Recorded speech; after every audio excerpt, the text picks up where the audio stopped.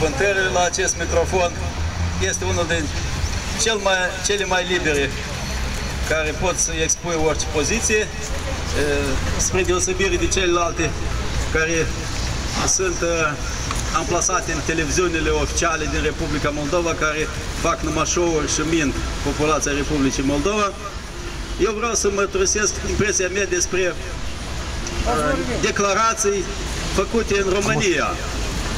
Săptămâna trecută, domnul Ponta a făcut niște declarații învinuind justiția din România despre faptul că ia decizii politice. Și președintele Curții Supreme de Justiție din România, în alta curte, președintele în altă curte de casație din România, i-a repostat și i-a repostat foarte dur. În legătură cu acest fapt, un politician din uh, România, mai bine zis un comentator politic actual, care s-a primblat și pe la noi prin țară, i-a reproșat lui uh, Ponta că el ar fi putut vorbi despre deciziile politice a justiției române, numai în cazul când ar fi curățit partidul lui de corupție. Și eu m-am gândit atunci, dar cine judecătorii care i-au repostat lui Ponta? Oare în România sistemul justiției a fost curățit de corupție? Oare și imediat mă gândesc la noi, dar noi, la Republica Moldova, sistemul justiției a fost curățit de corupție. Toți au uitat ce au făcut, ce a făcut justiția în țara noastră în timpul lui Stalin. Ce au făcut anchetatorii și procurorii? Aceia erau măciuca principală a dictaturii staliniste. Oare acei oameni au dispărut la noi din sistemul justiției? Și știți de ce mi-am pus aceste întrebări?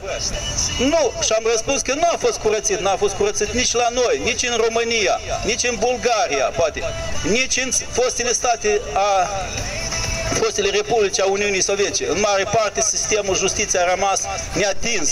De ce? Pentru că el corespunde cerințelor politicienilor care se află și s-au aflat la putere.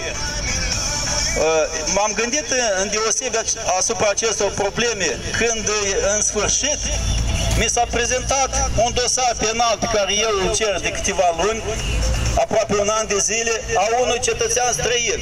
A, dumneavoastră, eu am mai vorbit despre el și dumneavoastră îl cunoașteți, Abu Aziz, cetățean american, cetățean al Israelului, original din Palestina, care a venit în Republica Moldova să se căsătorească în 2000 și a rămas aici pe 13-14 ani iată acum, fără documente, fără e, absolut nicio apărare, fiind închis pe nedrept într-un dosar penal fabricat. Și iată, abia acum zilele acestea, acest dosar mi-a fost prezentat și am avut ocazie să fac cunoștință cu unele documente din el. Este ceva înfiorător. Omul a fost condamnat la 10 ani de pușcărie pentru un împrumut presupus de 4.000 de lei care nici aceea n-a fost adunat 4.000 de lei. Lui a fost înaintat învinuire pe 4.800 de lei, însă când l-au trimis în judecată, acei care au scris că i-au dat cu împrumut bani, n-au vrut să vină în judecată. Au luat decizii să-i aduc forța și oamenii n-au venit în judecată și ei nu puteau aduna nici suma de 4.800 de lei.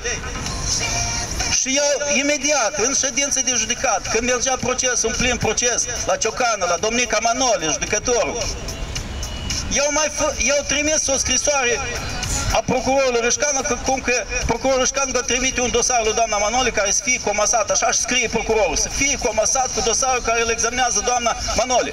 Și a fost comasat în baza acestei scrisori. Însă dosarul nu există. Nu există, nu mi-au prezentat dosar și nu vor să-l prezinte. Și omul în rezultat a primit 10 ani de pușcărie. I-au mai adăugat prin scrisoarea aceasta procurorului 27.000 de lei și au făcut suma care trebuia să corespundă uh, sentinței de 10, de 10 ani. Vă închipuiți și omul, iată, și astăzi stă în pușcărie în baza acestor fabri fabricări de dosare.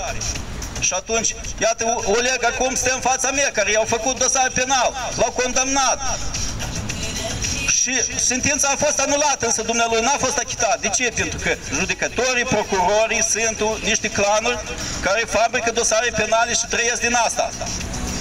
Iată acum la noi în țară sunt anchetați mai mult de 100 de mii de oameni. În fiecare an se anchetează câte, tre- se intentează câte 33.000 de dosare penale și numai 8-9.000 se duc în judecată. Vă închipuiți, 25.000 de dosare penale rămân la mâna procurorului și nimeni nu vrea să reacționeze. Eu am scris zeci de scrisori la conducerea țării, am trimis și la Uniunea Europeană, iată recent, i-am trimis și lui Pirca Tapiola două luni în urmă și nicio reacție. Vă închipuiți ce se face în țara noastră. Și aceeași se face în România. Eu cunosc puțin situația și de acolo. Politicul, justiția, eh, politicul, societatea, cetățenii Republicii Moldova au sarcină, în primul rând, să curețe justiția de elementele criminale care sunt acolo. De mulți ani, foarte mulți procurori, anchetatori, polițiști, judecători, trăiesc din faptul că fabrică dosare penale și trăiesc nu rău. Iată care e sarcina de bază a Republicii Moldova. Să curețe justiția de elementele staliniste, de elementele care au dus țara la situația care acum ea se află.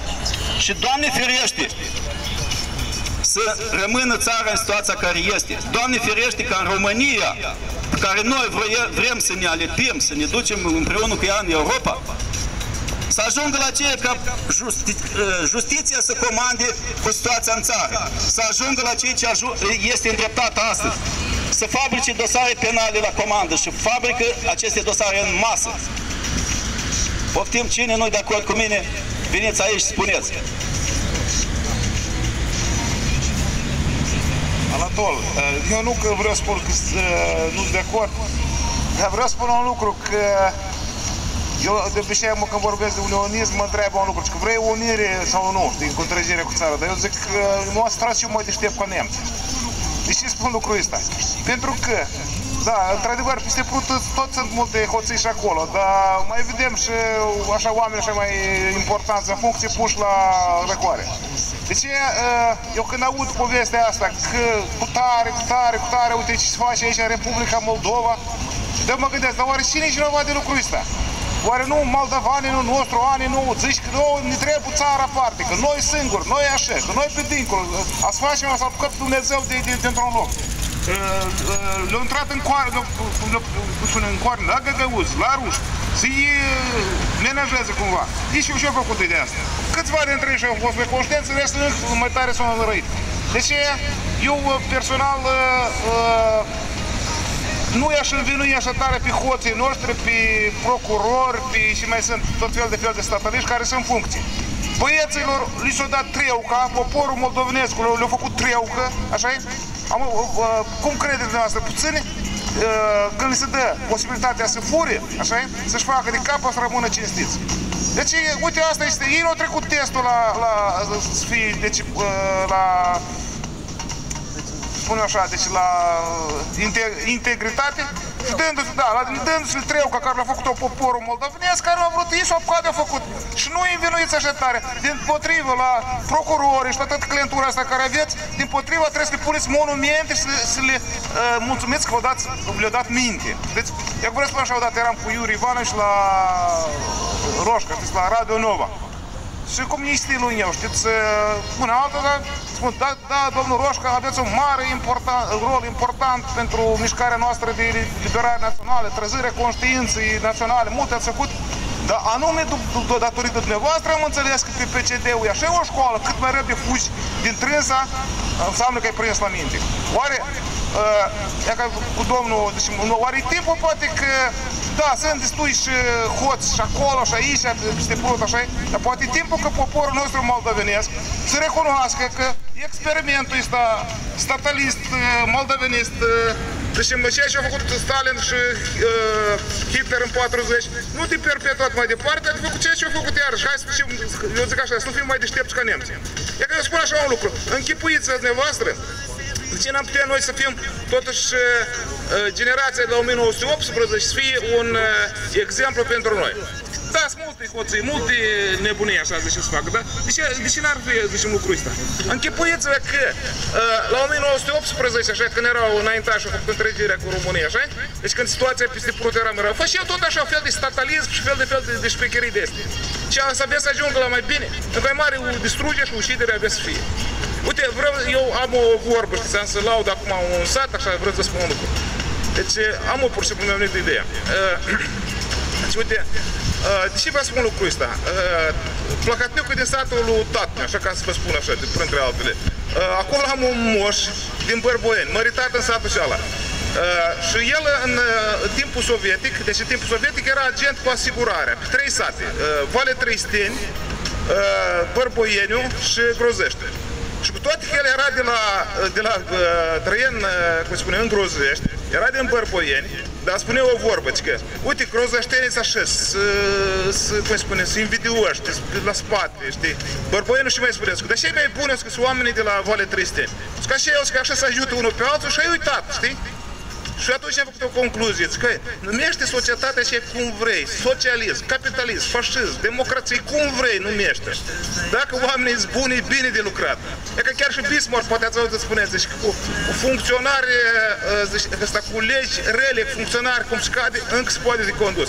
Cu legi cât de bune le face dacă funcționare, zice, mă să fie aiure, așa -i? Treaba nu o să iasă de asta. Și am băieții ăștia șmecheri, zice, care, care, dar nu e așa. Poporul moldovenesc, ei nu i-au trimis așa, nu le-au făcut lege ilustrație, i-au lăsat să treacă mai departe. Așa că nu condamnați așa tare pe dânsi, domnul Gheorghe, dar mulțumiți poporul moldovenesc așa, că uh, și-a adus băieți la Triocul, cu o la Triocul, să-i dă minte. Și poporul moldovenesc trebuie să-l pună la Placatniuc și la clientura asta, trebuie să-l pună uh, monumente că le dă minte. Că ei trebuie să recunoască. Ei băieți, ați vrut, am vrut noi și mai deștepți ca nemții, dar e ca nu s-au primit. Eu personal când mă întreabă în ultimul timp, vrei unire sau nu, de, zic, nu, zic, eu mă strat și mai deștept ca nemții, știi? Noi 20 ceva de ani suntem mai deștepți ca nemții. Și e ca la ce am ajuns. Poate ajunge, nu? Asta e cele bune.